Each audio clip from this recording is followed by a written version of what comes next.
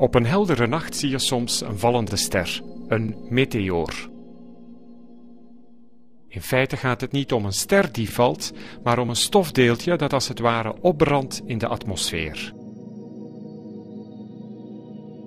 Zo'n stofdeeltje kan ten opzichte van de aarde een enorme snelheid hebben.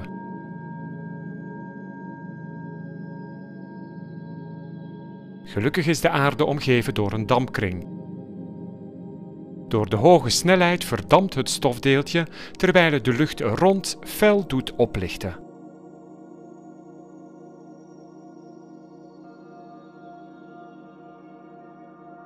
Jaarlijks gaat de aarde af en toe door een gebied met heel veel stofdeeltjes.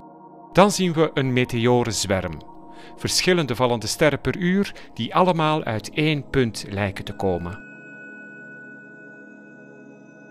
Op een heldere nacht zonder storend stadslicht loont het dus zeker de moeite om samen eens naar vallende sterren te kijken.